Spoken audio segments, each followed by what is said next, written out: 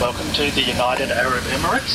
The local time in Dubai is 6.43am on Sunday the 21st of June. With your safety in mind, please stay in your seat until the captain has switched off the seatbelt sign. If your mobile phone is handy, you can now switch it on.